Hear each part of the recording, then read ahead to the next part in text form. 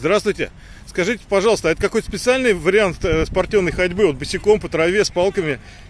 Личный Личный? вариант. Ну и как помогает? Отлично. Что посоветовать вот молодежи? Вот надо этим заниматься для сердца, для чего вот это? Молодежи больше бегать надо. А когда постарше, тогда, конечно, чтобы нагрузка была не только на ноги, но и на руки.